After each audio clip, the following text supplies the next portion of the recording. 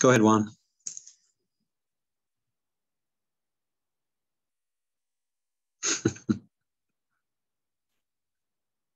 Juan, you were going to give us an update.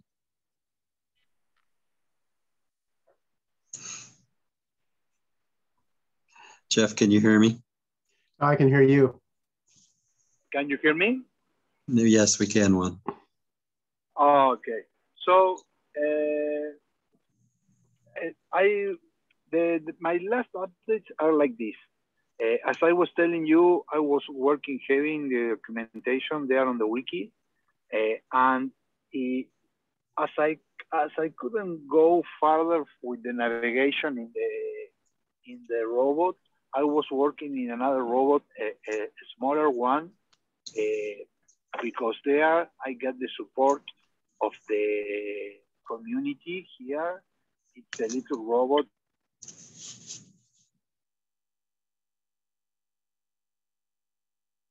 We've lost you again, Juan.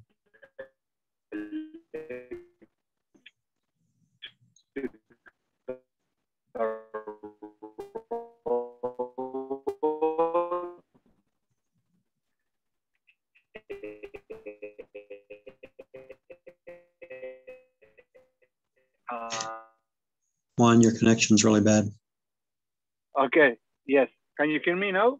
Yes. No, I had an incoming call from from my wife in the phone, so I couldn't talk. Uh, it, the, the, that is very similar to the turtle robot, and uh, um, I have a lot of support of the community in Spanish because it's it's a it's a robot that we are working to try to get support from uh, to uh, to schools to give support for schools uh, for teaching ROS. um, that robot have something similar to my robot is because it's run over all, all completely over Docker. it's a very similar setup uh, to the one that we have. We have a Raspberry with a Rust serial controlling. Uh, they have three different setups. It's like a, a EST a ESP32 board and a, um, a Teensy board, and others have an ESP32 board. Uh, both uh, they, we are working in the three setups at the same time. I have some problems with the guy that is designing the we are trying to build a, um, I don't know how to explain it, but an integrated car where you can put all the components there, and it's the same uh, car that we are using for the the the, the Paulan robots, the the agro robots. It's very similar um, because it has the, mainly the same components, uh, and Uh, ah, and we are working in, at the same time in the simulator with the gazebo and the and the robot. So the, the robot when it will uh, it will come out will go with the the the, the all, all the parts uh, together, the simulator and the and the robot itself. The simulator the simulator is already uh, been done uh, in Gazebo, and I think that the robot is it's okay. It's already been done, but I couldn't build it up uh, together because I have some problems with some parts that I couldn't get well done in the 3D printers because I was missing the, the wheels, but it was uh, I mean, uh, it, was, it, was, my mistake because I didn't find it in the, in the repository in GitHub. Um, so mainly now we are working in a board where we can put all the components there. Uh, the board is uh, designed for the ESP32 uh, and we use the, the u-blox GPS and the I don't know if there is another sensors that are similar. Uh, And yes, and we use the drivers that we use for the for the uh, for the actuator in the in the robot, in the agricultural robot.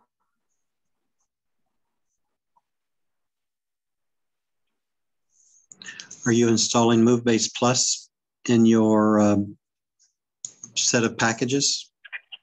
Yes, it's all with MoveBase Flex.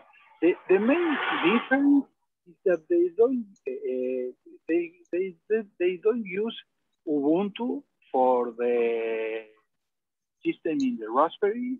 They use Raspbian, Buster Raspbian, and there they install the, the Docker file uh, that runs the the the ROS software.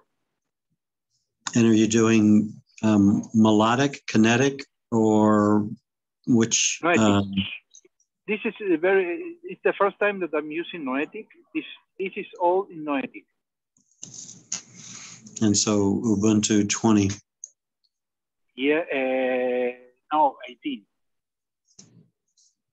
1804. I, I'm, I'm, I'm not sure uh, this, but I think it's 1804 because the other way we, the other day we were discussing uh, discussing this, and I don't remember what we, or what will come out, but I think that it was eighteen 1804. Hmm, I don't know the versions well enough. I, I was thinking Noetic was, I I thought melodic was 18 and Noetic was 20. Not sure. Sometimes Well, there's sometimes there's an overlap in there where one version will run on two different versions of Ubuntu. So maybe that's what. But you're definitely going to, but you're Yeah, definitely going to use MoveBase Flex. Yes, the main thing is that uh, there is a lot of people working this project, and I will get a lot of. Uh, I, I hope, I hope, I hope that I will get a lot of support for this, uh, so I will be able to push other uh, items that we have in the discussion. Uh, but I'm not sure how this, will end uh, because uh, it's a, a lot of there are a lot of people in the uh, in the team.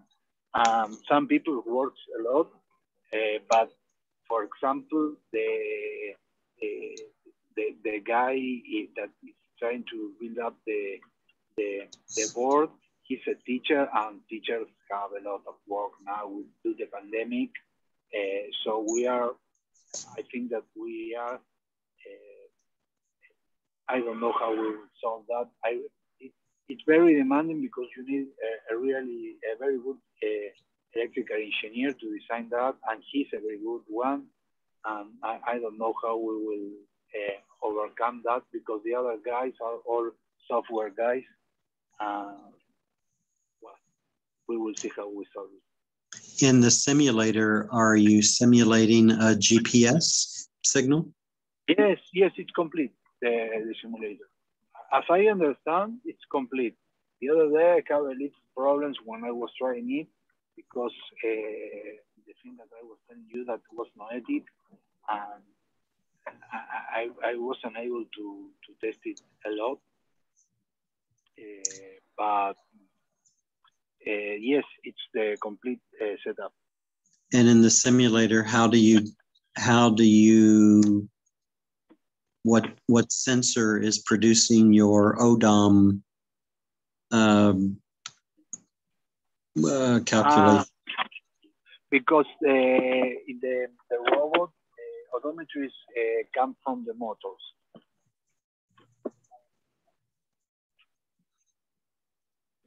and it's uh, track steering or Ackerman steering? No, it's Ackerman.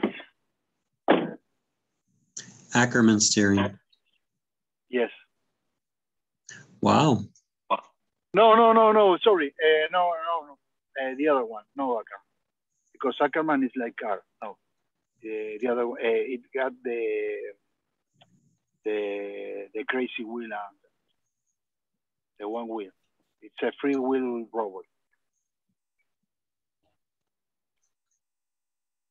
So track steering with a GPS, sensors on the tracks producing an ODOM statement. Yes, and the motors, because the, mo the motors got the, the other data of the wheels. Eso es, hijo. ¿Cómo andas, suite? Estoy hablando por teléfono. Do you know if they've thought through, will the ODOM position be updated at all with the GPS signal? No, I, am not sure about that because I got to do more, more testing. Uh, I got, I, I have done the, the basic test, uh, testing that was involved in sending some command velocity uh, statements to through the terminal. The, and I stopped there, but uh, the, the, the thing is that the, the team that is working in this is very suitable to do the, the change and the, as, as they are relying, relying on me to build the documentation, they, I think that they will get them done. What would be interesting to see that I've not learned or or seen is how to simulate GPS in the simulator.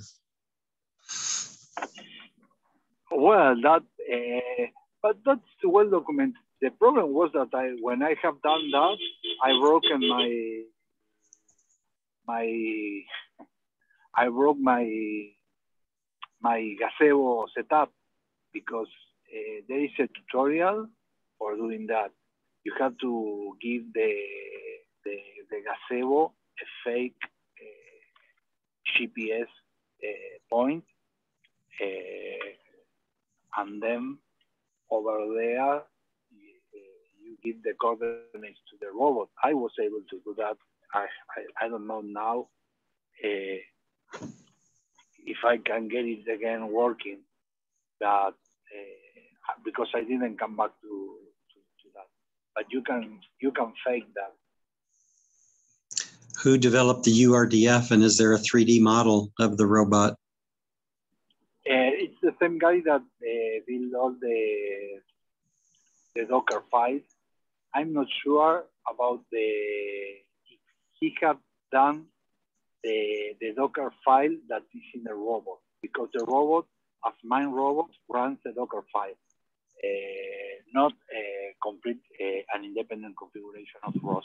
Uh, it's a configuration that is in the, in the Docker file that is bring up by the, the Buster Raspbian.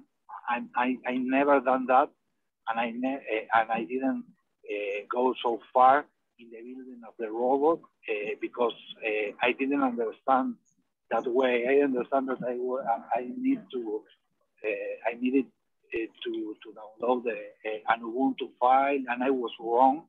So that was, that I, I understand that I was wrong yesterday. So I'm, I'm new. I, I got to download the Buster. I, I, didn't know that Buster, Raspbian Buster could run Docker.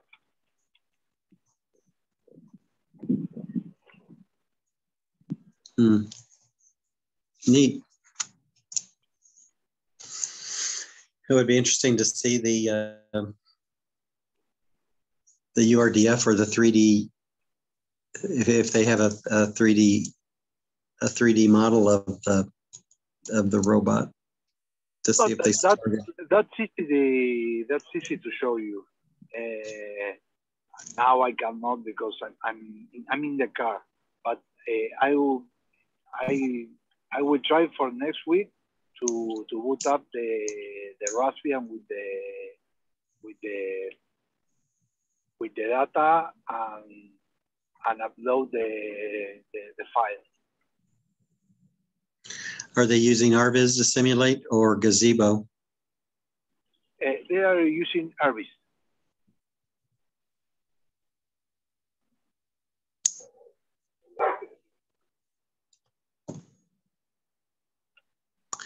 Well, it sounds like an interest, an interesting project. I think that the, the most important thing is that there are uh, five to six guys working in the project, uh, and and the idea to bring more people uh, to the project, and I will be able to to ask better questions to them and learn more uh, about the setups. Uh, I, I, that's the most encouraging thing uh, for this because I will try to apply the documentation of ROS over the over the robot, the services, the topics, the, all the things that the, the, the, packages, all that thing over the the ROS uh, documentation and this robot. And I think that maybe it could move me forward, uh, understanding better the how the system works and how how to how to migrate from the from the RViz and the simulators to the to the real robot and backward. Definitely. Juan, anything else to mention? No, uh, no. Uh, sorry, I, I, can. I wasn't able to to try to translate some of the things that I'm trying to explain to, to say better English. But uh, I think that now that I'm starting to work again, I will be able to bring the community more, more data. That's great. Welcome back. Happy to have you back. Thank you. Thank you for thank you. Uh, thank you, Jeff. Jeff, you've got two screens going. You must have something to share. Well, well, we'll see what happens here. I, I, I went through the process to start this up, and it says, "Oh, just a minute. Firefox has to restart." So that took another another two minutes for it to do that. So we'll we'll see what happens here. Let's. Uh, since since I'm since I'm at this point, I'll go ahead and talk about this if I can get this to work. Come on. Now it doesn't doesn't look like it wants to work. I click on share screen and it does nothing. So maybe, maybe I won't do that. Why won't that work? Share screen. Well, we, we won't do that. We'll talk about something else here. Well, at least tell us what you're going to show. Okay, let me let me try to remember what I was going to do here. So I a couple weeks ago, I went out and um, I kept thinking that I need to fix my odometry, you know, figure out how to get it right as opposed to just poking at it every time. So I went out and I, I got my air tank and my pressure gauge and put 30 PSI in both back tires of the robot. Took it out and drove around the block two times. And originally I had a uh, plot. So, so several weeks ago, what I've been running the whole time, I, I, I, would get a odometry plot driving around the block that would be, it would look kind of like a rectangle, but it was opened up. So it would spiral out to, to generate this uh, curve. And then I, I went back and looked at the ROS agriculture meetings when I was talking about how do you calibrate this. And I took the numbers off the screen there and programmed them into the robot and drove it around. And it was closer to where it should be, but it still wasn't correct. So this time I put the air in the tires first, drove around two times, and came back and looked at my odometry. Now it looks like a clover leaf. So it it drastically changed the thing. And that's because as I put air in my back tires, I think I checked one had like 10 psi and one had 20 psi that I've been running most of the time. So when you put air in the tire, number one, the tire the tire expands out because it's got more pressure in it. The other thing is the the surface of the tire. As you put more air in the the you know the surface of the tire becomes more of a more more rounded. So so your contact point is is closer to the center of the tire. And if your tire is, is flat like this you don't know if the contact points could be here or here or over here. So that's another thing that it, it made the difference on. And the fact that both of them have the same amount of air i should be able to calibrate to that and make it make it actually work. So after after i did that i saw it was a clover leaf on the screen when i plotted it so I extracted all the numbers, went back to my Excel and played with it for a while. And I can get it to come out fairly close where I can get two, two overlapping rectangles that are, are close enough to where they need to be. So I just need to go back and, and prove that I can run that again to verify that the next time I run it with that amount of air in my tires and with the correct numbers in that it will give me will give me what I want. So that that's kind of the uh, that's one of the things I was going to show you. Uh, the other thing is the fact that I drove around twice and I've got the what I was going to show you over here that I can't. I, I had the uh, a plot of the of the RTK of latitude and longitude driving around twice and it all looks looks good. And then I have the plot of that converted to offset in meters and that all looks good. And what was the next screen? So the next screen was showing you that cloverleaf pattern that really looks bad. So then the next one uh, also before I ran at that time I decided that I wanted to uh, get rid of this stuff with a uh, let's see if I can pull up a picture here on this computer uh, no, I don't have it on this computer, but I have the problem where, you know, I, I do the, uh, do the heading and if it's close to zero, you know, just a little bit of noise jumping between zero and 360 makes it bang back and forth and you can't tell what it's actually doing. So I went into the code. So I, I went into the code for both the IMU and the, uh, the uh, GPS static heading and I unwrap the heading. So I, when it gets to, close to zero, if it tries to go below zero, instead of jumping up to 360, it just becomes a negative number. And so I've got some really nice looking plots coming directly off both the IMU and the GPS. And so I had a plot here that showed the, the original IMU, the original GPS, and then the ones that I've unwrapped them to give me nice, nice looking values. So when I drove around the circle twice, the, the GPS comes back and it's pointing, it says it's pointing at 720 degrees, which is where it should be. That's, you know, around the circle twice gives you 360 times two, it's at 720, it says like 720.3 degrees or something. So that one is working. Again, I, I usually trust the GPS, so that seemed to be working. And the IMU, after I drove around, and this was with no calibration on the IMU because I can't get that to work. This is the BNO055 IMU it drove around. It looked good the whole time. And when I got to the end, it was at 715 degrees. So it was off by five degrees after driving, what's that, 600 meters around the around the loop twice. And I thought, well, those look pretty good. So what I did was that I I fired up another plot, which you can't see, but I put the the GPS and the IMU on top of each other, and they look almost identical, except for there's a couple spots where it turns out the GPS is actually wrong in two different places on the plot. And if I then I plotted down at the bottom, I plotted the, one of the covariance values from the GPS. And sure enough, that's the time when the GPS was wrong, the covariance values were not, uh, they're, they're, normally apparently supposed to be close to zero. And you can see there's a, a blip on the screen where it comes up. Well, here, let me, let me do this. As they say on uh, damage for, hold on to your butts. I'm going to move the camera. aha, we'll, we'll use this modern technology.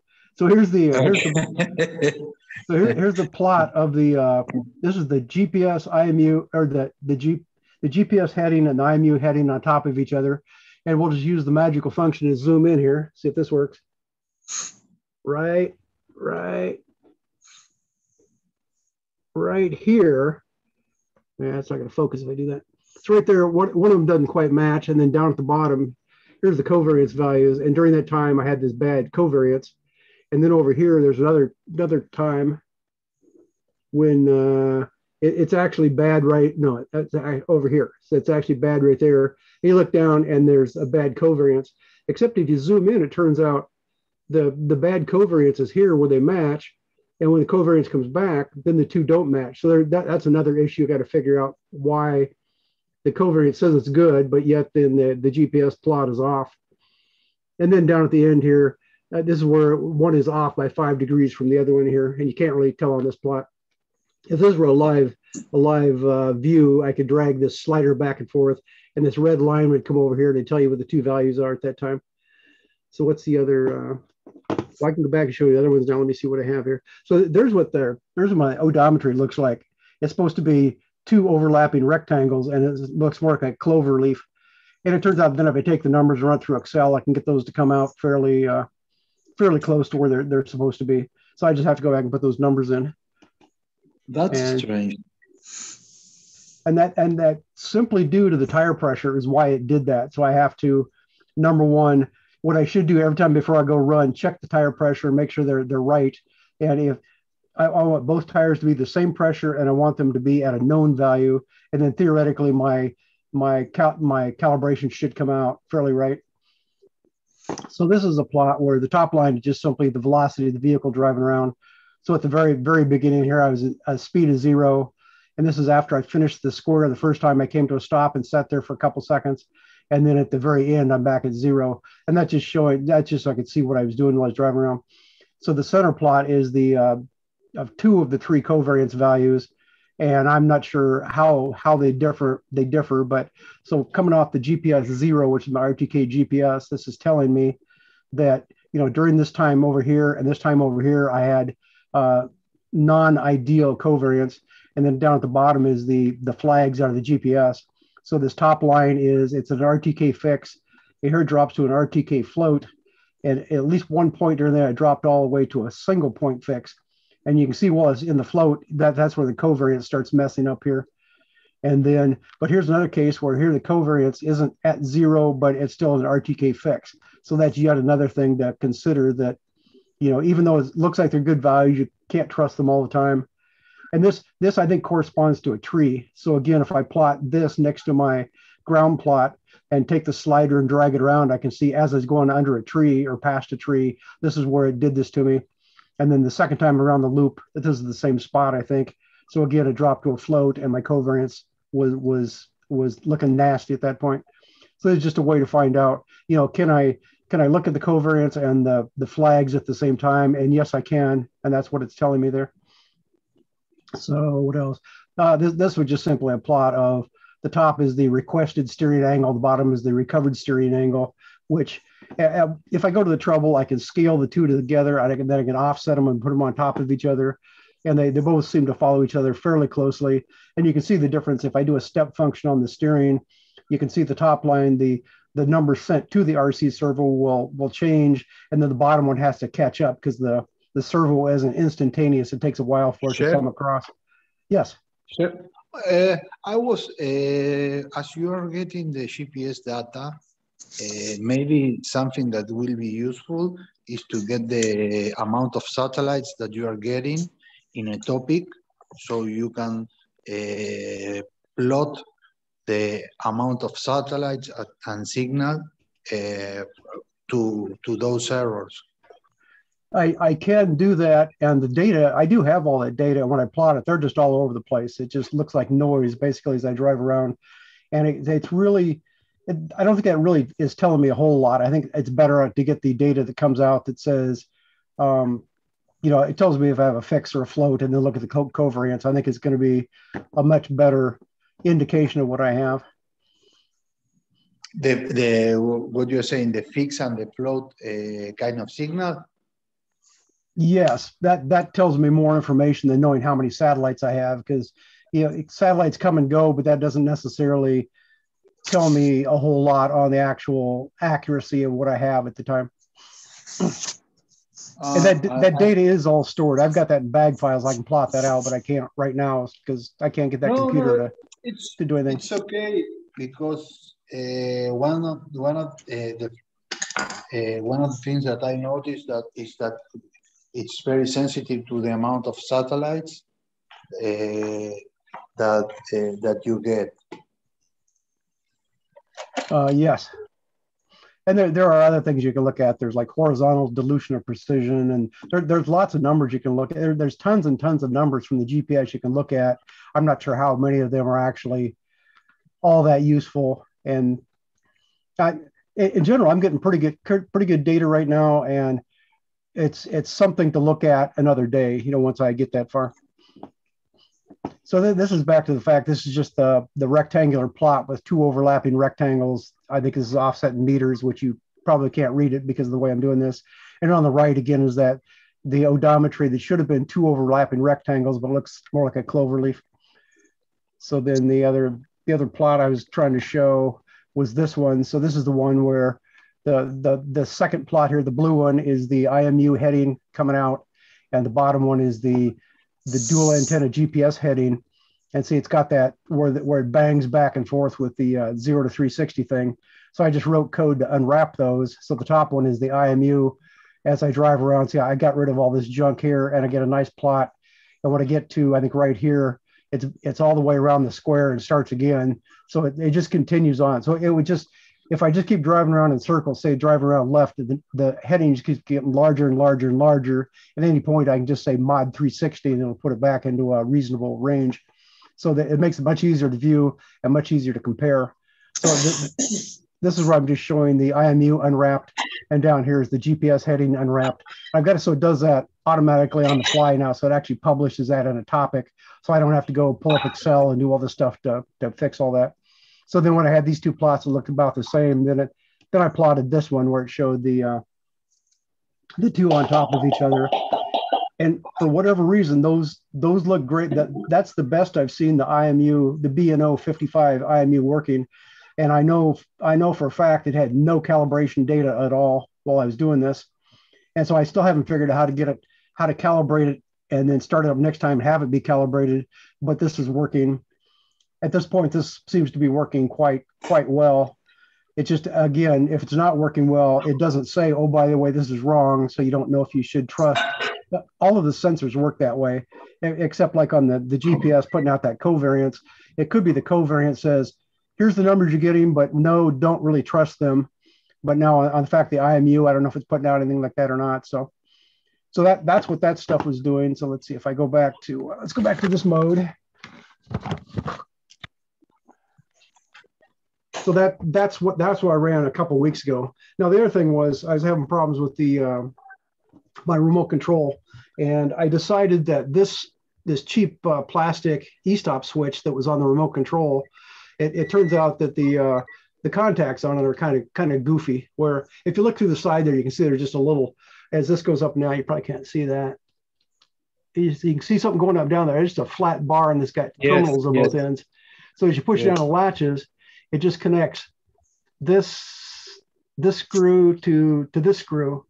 So that makes contact. So if, if you have a high current situation say if you're driving a motor or something this says it's rated up to 10 amps that probably works uh, here let's do this. Okay so that probably works just fine but when you uh, when you hook it up just logic level signals i think the contacts are just dirty enough that they're just noisy. So I, re I replaced it with one of these let's do this. So here's the here's the original plastic one, and then here's the the little one. This is actually a, a, metal one. It's got two sets of switches, and they're they're decent switches in the thing. So I replaced that on on my remote control, and this it's it's all metal and it's got a real nice feel to it. So you can bang it all you want, and then on the, yes. the remote. I got the same the same one that you got in in your left hand. It's my stop uh, button in the tractor. Uh, this one or the the little one? Yes, that one. Yes. And depending what you're doing with it, it, it, I think it'll work fine for high power circuits, but if you're trying to feed it in logic level signals, then it, then it becomes a problem. Now you can probably put a big load resistor on it, which I didn't try that. I just simply replaced the one on here. I actually pulled pulled it out and put the, you know, so that so it's smaller in size now. So that that's actually better because it was kind of in the way when I was trying to run things. And so that I did that, and I haven't had a problem since I've done that, but I haven't really driven it a lot. So I got to keep an eye on that, see if that actually fixes my problem or not. And then, it, then if you want to make something really small, here's a here's a smaller one that's that's made out of plastic. So here's the we'll compare it to the original one. So here's the original plastic one, and then this is a little one that I found. I don't. It might have come from MPJA, or I might have bought it on on eBay but it's got a uh, it, it's it seems to have a decent switch. This has just got one one switch, whereas the other one has two sets of switches. So I plan to take the one with the two sets of switches. And the way I did it on the back of my robot, I've got the one set of switches just tied to a red green LED. So if the switch is up or down, it just the red the LEDs are red or green, so I can instantaneously know is that switch turned off or not. So I I was thinking I might rebuild a remote control and make it smaller. So I just just for the, the heck of it, I bought these little tiny uh, joysticks. They're little thumb joysticks. And if you buy it with the, uh, if you, you can buy them on a board because the problem is the, uh, the, the pins coming out of the back of these things are all metric on metric centers. They they they will not plug into a 10th inch uh, perf board. So if you buy it on a board like that, then it's got the pins there you can hook onto. uh, I'm having a hard time with this being backwards like this. But anyway, anyway, I got this board. There was like like six boards for eight dollars or something. So they're they're they're really cheap. And it basically it's just just like the big big ones, just got two potentiometers on here. It's actually got a switch. So you push down on the, the switch clicks. But that's a problem because if, you wiggle it at all and your vehicle lurches while you're trying to push the switch and your vehicle lurches, they, it's probably best not to use those the switches, the push button switch on that. So I was thinking if you had the little the little e-stop and the a couple of the little uh, thumb joysticks, you can make just a little thing about the size of a, a gamepad controller. So that's something else. I've, I've been collecting parts to do that. So on to the next thing, I got the, uh, I did get the uh, Adafruit um, BNO085 module, and I've got that hooked up, and it does indeed talk. I can't get that to work with the Adafruit software because they've done something they, they got a little too little too clever and they put an extra layer on top of their I squared C and it doesn't work anymore. At least it doesn't work on a Teensy and I can't figure out how to fix it. So I'm just I'm just using the SparkFun code to do that. And actually I bought two of the two of the sensors. So here's the other one and it's got one of those uh, quick cables on. The quick cable actually came from uh, came from SparkFun when I bought something else. And I, what was odd was I I, I took this one, I soldered the pins on it, plugged in my proto board, and I went to turn it around because it was, you know, I thought it was backwards. So when I went to pull it out, it turns out, you know, the pins are supposed to be soldered straight down out of the thing like this. And for some reason, they're they're like this when I got them soldered in. So apparently I plugged them in the wrong row of holes, put the board on and soldered it down. So the, the pins are all screwed up. So I just simply stuck stuck it in a board and started prying on it. I was able to bend the pins enough that it plugs plugs straight into something. So that's something that's happening a, a lot of, to me because I'm a pretty shitty solder. Yeah, and then, and I figured this one. Uh, since I don't know what orientation it's going to have to actually be right now or when it's done, it's got the screw holes, so I could just just drill holes in my piece of plastic and screw this right down and, and have and they aren't symmetrical so i'm gonna have to have a set of holes like that and a set of holes like that in order to get all four uh, directions on that but that that should work out so I found out that what's that? I, I I got it. I got them with the I don't know how to say the ziplocs the to attach them the the precintos the I don't know how to say but I, with wires I I use the holes and I put wires uh, because uh, I have the same problem that that you are mentioned and I always solder uh, I, I, you don't know if you're going to go upwards or backwards. Yeah. And then I found out I'm using the same same code that that Al's running right now. So this board on here, I think I think the LEDs on this end of the board. So I think if you point it this way, like this, then I think this becomes ah, this this this becomes east. I think if you if you do this. And it turns out, so if you run the SparkFun code, it says that's zero degrees. And then if I rotate it to be north, that says plus 90 degrees, which I think is what ROS wants to see if you're publishing that as an odometry, uh, odometry message. So I think that works directly for ROS. If you just convert that into an odometry message and publish it, that should be correct. But what I want to do, since I, I, since my other sensors put out zero to 360 and they they say north is zero, I want to convert the output of this so I can plot it on top of the other stuff there. And I, I, I played with that a couple of times and can't.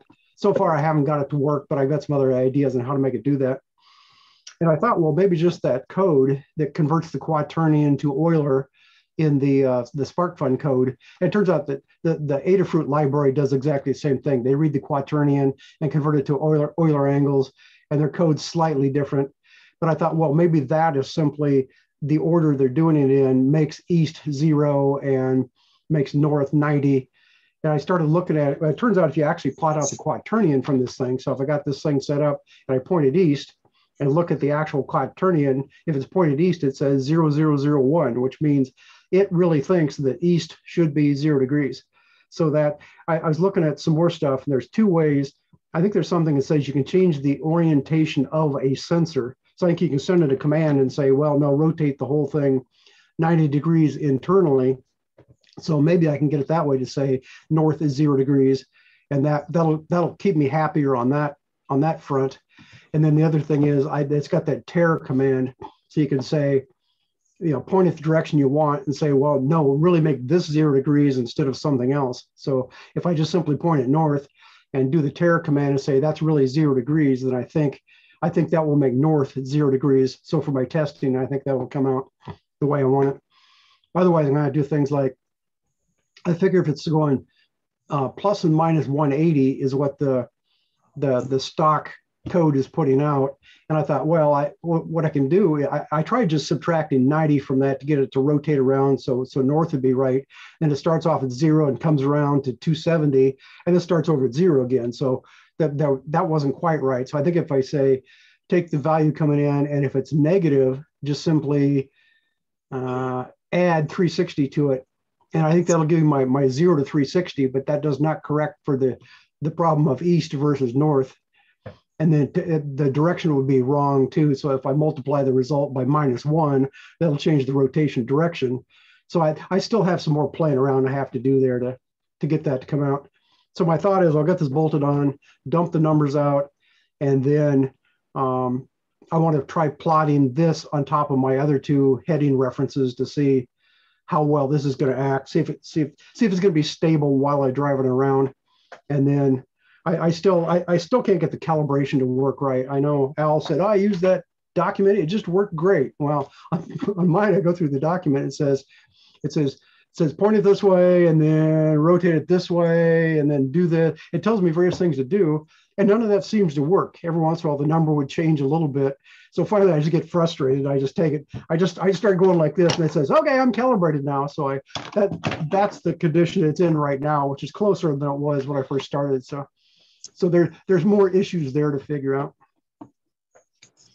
So that, that's kind of where i'm at right now. I'm, I'm playing with this new imu I've swapped out my e-stop switch. The old IMU looks like it's working much better than I've seen it working.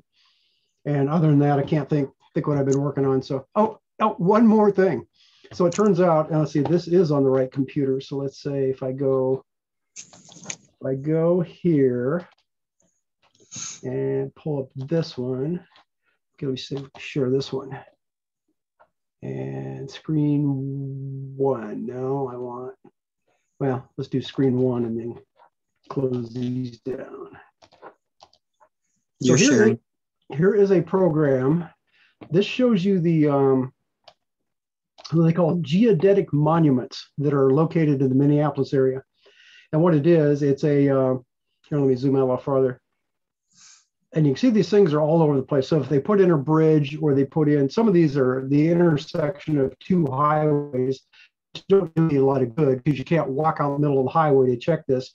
But the point is, if I pull up one of these, this one's uh, fairly close to my house here. It's like a few blocks away. Yeah, that's real handy. Uh, well, I'll, we'll look at it like that, I guess. So it says this is the the ID number. It's called 2710B, and somewhere it says it's an aluminum rod driven in the ground, and um, so if you pull up the data sheet, let me see if I can quickly find the data sheet here. I think it's this one.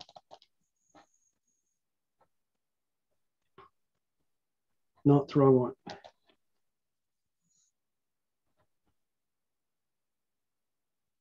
Oh, come on. Cancel that. Let me let me go back. Ah. Okay, so I'll just randomly grab another one here and see if I get the right one. That's probably not the right one either. Yeah, this is the right one. So let me let me let me pull this one back up and get this crap out of the way. Let's put it over there. So it says here's the 2710B. And it says where it's located. Here's latitude and longitude. And it was put in in the year 2015, and there's there's there's lots of stuff here I don't understand. It says it's a an alloy metal rod that's 12 feet long. So they, they drove a, a 12 foot stake directly into the ground, straight down, and then they monitor it. Somewhere it says they, they checked it with GPS. So they so they, they come up with this latitude and longitude from a GPS marker. And they the, so they put these in and then they they supposedly uh, keep track of these over the years. So it's supposed to be right. And then down here they give you pictures. So let me pull up a picture of not that one. This one? No, that's my lawn tractor.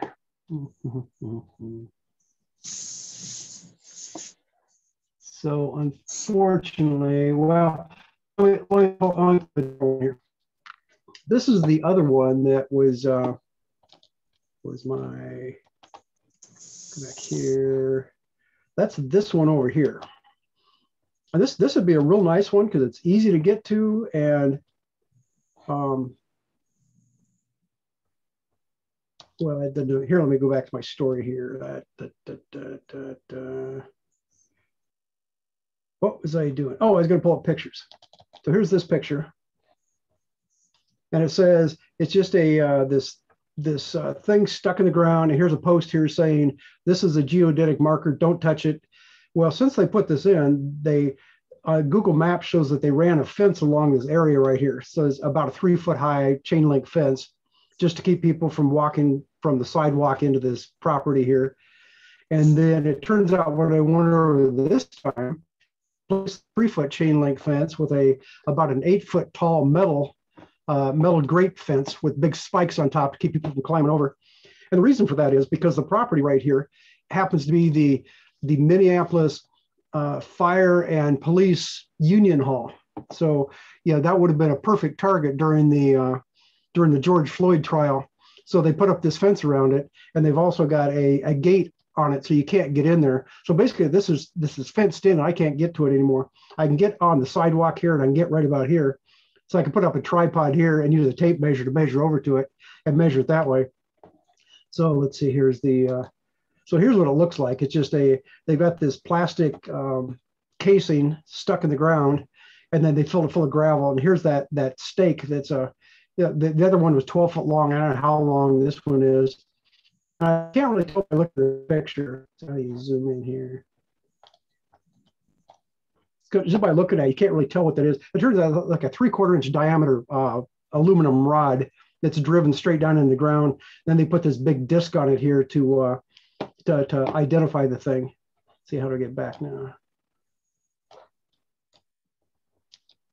and the disc looks like that. So here's the here's the metal rod, and somewhere it says I think they drilled a hole in the in the aluminum, put a bar magnet in there. So if you try to pick it up with a magnet, you can go across. You know, if it's buried on the ground, you can find it that way. So this is just telling you in 2014 they put this in, and this is the ID mark on the thing. So that's what it's supposed to look like. Now it turns out the one that I I found, the one that's close to me, I found it, but they redid the road two or three years ago, and and the thing is busted up. So the the, the cap is missing off the thing. So you can't just open it and have a nice clean thing to look at. And it looks like it was pulled up several inches and either some heavy equipment bent the rod. This is a three quarter inch rod and it's bent. And then it looks like they've hit it with a lawnmower a few times, but it still looks like it's close enough. If I pull up the,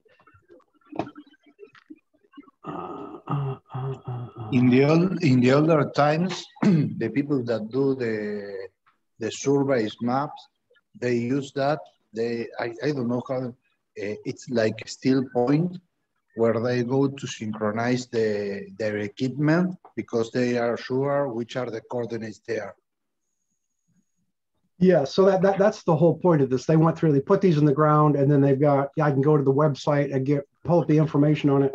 So this is the actual one that I that I found close to my house, and see it's I put in in 2015, and here's the ID number, and here's the the metal rod, well, it turns out, let's see, can I do this?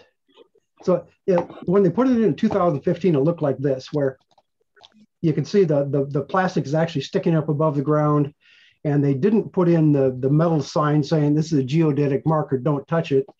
And so somewhere along the line, either when they're rebuilding the road, they either ran some heavy equipment across it and broke the broke the top off, and then the metal rod is sticking out at a stupid angle. So it but but the fact that I can get to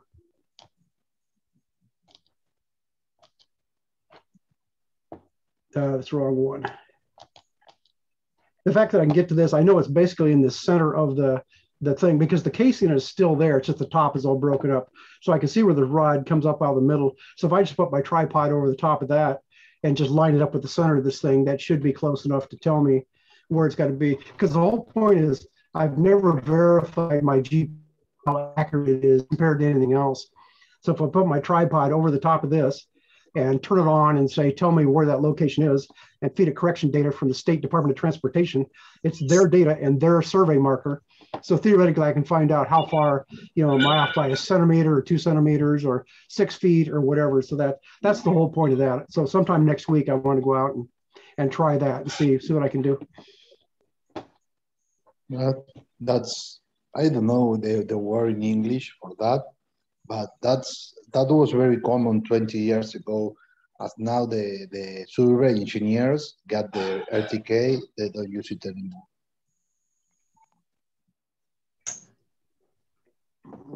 I assume they still use these because they're maintaining this on their website. And I, I haven't I haven't found any new ones, but it looks like every time they put in a bridge, they'll put in one of these markers. They'll they'll stick in the concrete. And so there's a few few more places in town. If I know where they're at, I can just go to say walk down the sidewalk on a bridge, and there'll be a marker there. I could I could check that.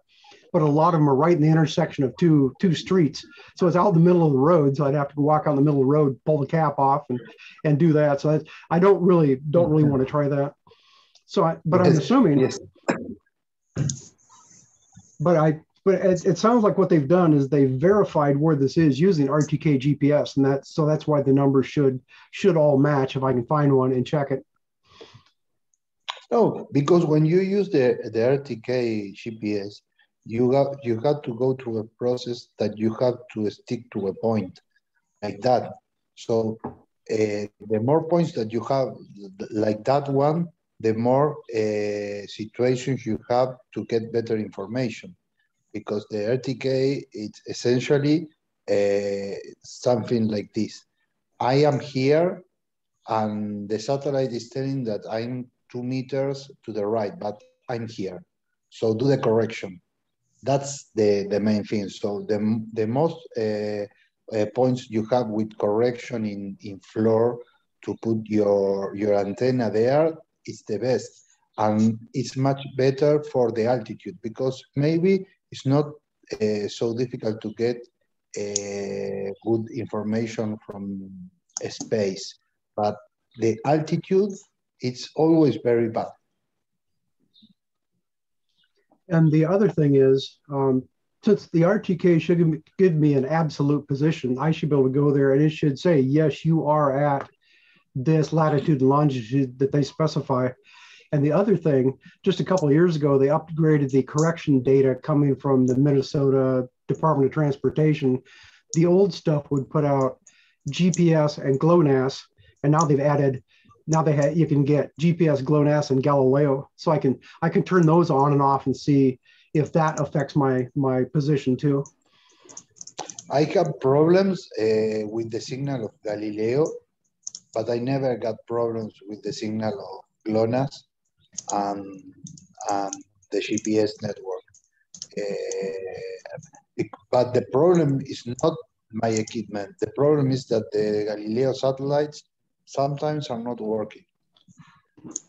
Maybe it's something uh, about South America, uh, but it's very constant.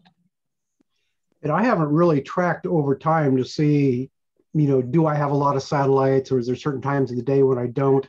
So I haven't really looked at that. I just I turn it on. I seem to get good results. So I haven't done a lot of a lot of research into that. But that'd be something else. You know, now that I have, if I, if I can say this tells me yes, that reference point is exactly where they say it is, and then turn correction data on and off, or turn satellites on and off, that'd be another thing I could verify. Because if I turn enough satellites off, I can make the F9P uh, do faster calculations and I could get, say, a 10 hertz update rate. Somewhere it says if you, if you only run GPS, you can get a 20 hertz update rate coming out of the thing. But I think if you possibly you have to only run two constellations, you can get 10 hertz. And I think if you run three, I can possibly get eight hertz. So it, it, it'd be interesting to see, you know, if I turn satellites off, turn off the, say, don't even look at the satellites and then don't use the correction data that's trying to do that. So that that's more more things I can try just to see what just to see what I can get out of it. Uh, you know that I didn't think that uh, about the one of the things that I was reading uh, and trying to understand uh, much better was about the rate and the hertz in the topics, uh, and I didn't think what you are saying that uh, if you get too much information about the other satellites, you are over overriding the, the, the data that's going out of the GPS because you are getting too much information. There is a chart somewhere that I can never find, but it's in one of their manuals, and it says if you're running GPS only, you can run at 20 hertz. If you're running GPS and one other constellation, I think it says you can run 10 hertz. And then if you've got three constellations, you can run 8 hertz. And if you try to run four or more, you have to run at 5 hertz update rate. And mine is set to 5 hertz because I didn't want to try to figure all that out and, and fight with it. But it but it's simply the matter, you, you got way more information. The more satellites you add, you got way more information. It just doesn't have enough processing power to, to do them all at the same time and do the fast rate. So there's some trade-offs there. As I understand, one of the difference between maybe the my chipset uh, is that the processing is in the in the board, and, uh, and it's delivered to the ROS system, the data processed. Uh, but that that things that I don't want to enter because I think that that rabbit hole. Yeah, I, I'd forgotten you've got the other receiver. You've got the Swift SwiftNav Piksi. Yes. And that one, I think when, when I was playing with one of those at work, I think we had it set to 10 Hertz and I think it was happy, but I don't recall now. Now it could be it's got the same options where if you turn turn on certain satellites and turn off other ones, maybe you can run it faster, but I I, I don't know. I, I'd say if you've got got a setting that works, maybe stick with it and I think we were running that at 10 hertz and it was happy, but yes, yes, yes, you can do all all that kind of things because, but as I understand that that was solved by the software uh, inside the board, uh, um, the board received the, I think that the Baidu, the GLONASS, the Galileo, and the GPS, and mixed them in one signal that is forward to the robot. Yes, it, it automatically merges all those together to give you one one final solution. But you do have yes. the option if you want to, you could turn off Galileo completely and it it may be more stable or it may yes. allow you to run it faster. I, I don't I, I, don't know. I work uh, I work uh, I turn it uh, down Galileo because I have a lot of problems I do. I only use GLONASS and GPS.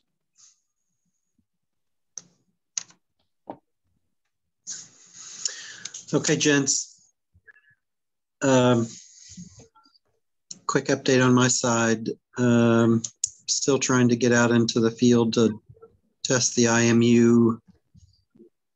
Had trouble with my network setup. Um, thought it was my the fact that I had um, updated my laptop to Ubuntu 20, uh, you may recall I have this tkinter GUI that displays my. Your uh, API?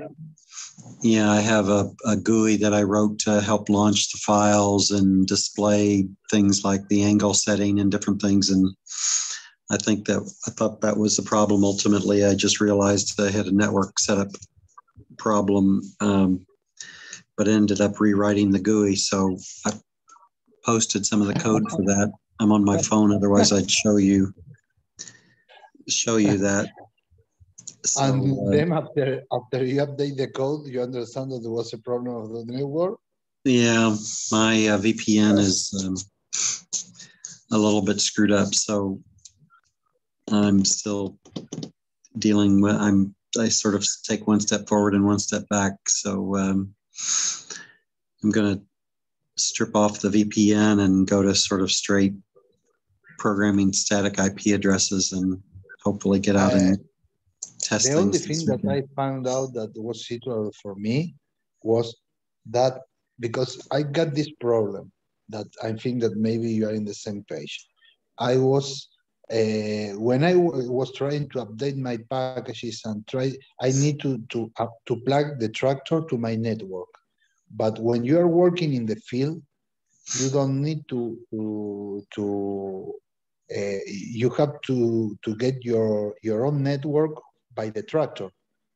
So the best thing that I found out was to plug the the tractor through a LAN cable and, uh, and through the the LAN cable uh, and put um, a, a switch there.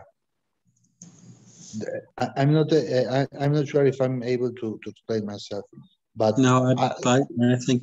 I mean, I, I generally, I think I understand what you're saying. Because it was the only way. Because you need to work with the tractor but the tractor and your computer got to get the same IP, uh, be in the same network. Uh, so that's something that I didn't found out a very uh, suitable way to solve.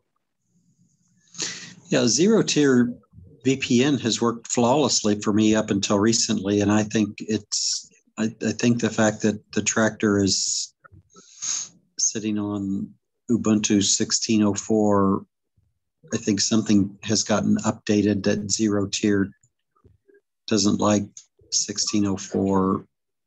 And um, I'm not able to uninstall it and reinstall it. And um, I think I'm, I think the fact that it's on 1604 is catching up with me. Um, so I don't think I'm going to be able to use zero tier VPN anymore, and we'll have to just. It's that's something. else. that's something about a, a, configuration because I use zero tier a lot. Um, through this year, I have to use it extensively because of the pandemic and bring services to the my office and my brother's office.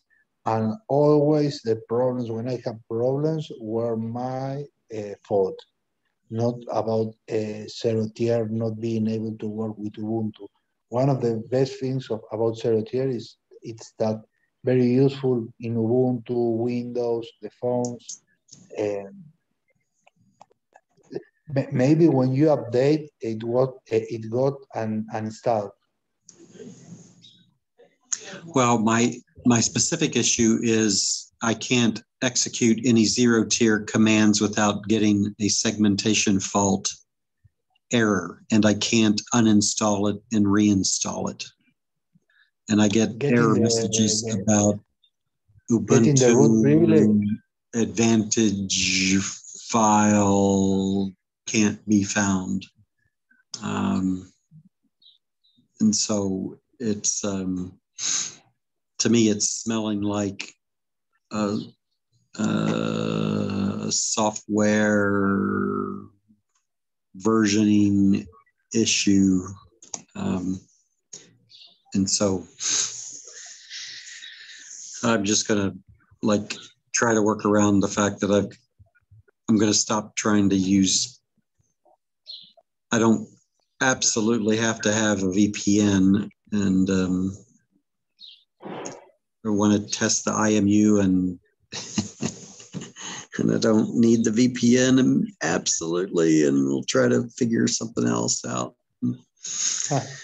So, and I'm not thrilled about the idea of reinstalling Ubuntu um, because then I would have to reinstall the um, I would have to reinstall this the uh,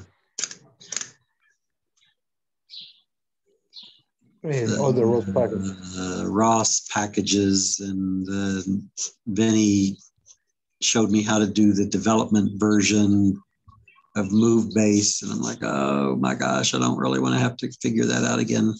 Um, yes, it's something that we are all always stuck because when you are trying to to move something between one system and the other you get stuck with the network issues that you are uh, that you are saying. That was one of the main things that I love Docker because when you get the that the Docker image working right, you can pull it again and again and again, and you get and you will get the same system. It's not yeah. for you now, and I don't want to put it in another uh, problem. But the things that I'm so fanatic about Docker are that kind of things because it's very discouraging when you are trying to, to, to improve something and when you touch something, the all, all the other things broke. So I, I, I feel the same that you are feeling. Yeah, so it's all pluses and minuses, I guess.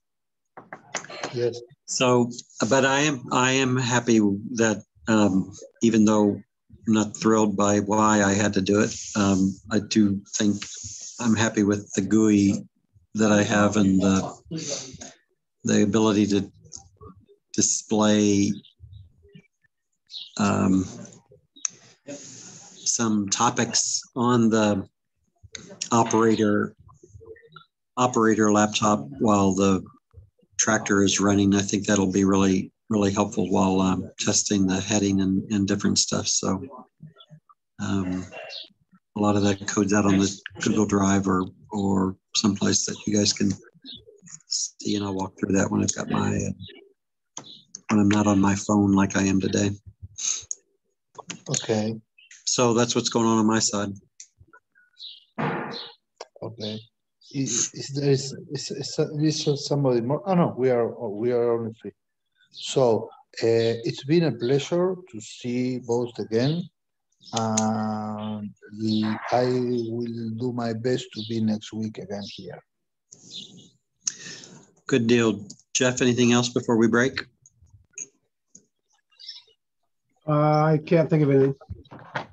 Juan, anything else? No, thank you. Guys, I'm going to hopefully stop recording. I think it'll work fine, and, and uh, I'll post it a little bit later. Have a great weekend. Okay. Have a great weekend. Bye. Ciao. Okay, bye. Ciao.